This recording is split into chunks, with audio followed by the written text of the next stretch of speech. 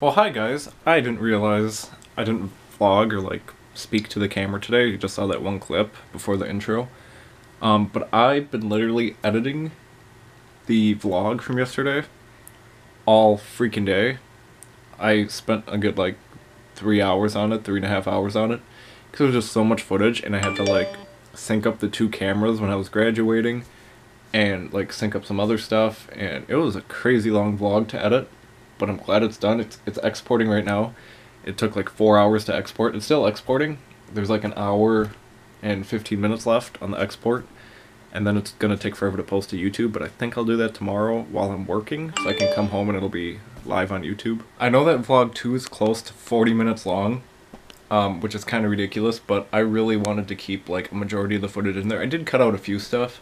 Um, that typically happens when I edit a vlog. Not every clip I vlog usually makes it into the vlog. Now you know. Um, but yeah, most of it did, and I'm super happy with it. Let me know what you guys think. Go leave comments on, on the vlog, but that whole like hypnotizing thing still blows my mind. I was thinking about it all day today. It just blows my mind. I have work really early tomorrow, so I should probably get to bed. I unfortunately have to leave this exporting overnight, which it's whatever I guess, but I was going to tell you guys something too. Completely forgot. Completely, completely forgot. Um, so this week I work every single day.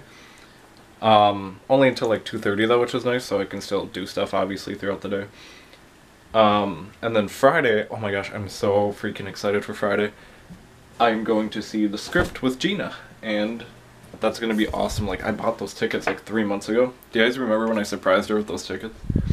Um, and I was like, oh my gosh, the script is so far away, it's never gonna come. Well, here we are, Friday.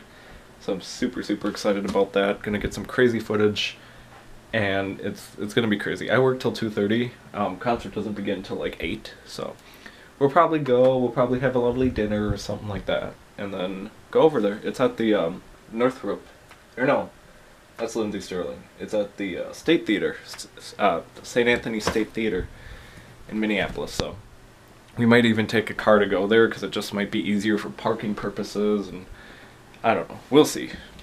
We will see. We'll see you guys tomorrow. Thanks for watching today's short vlog. Get ready for a crazy week. See you tomorrow.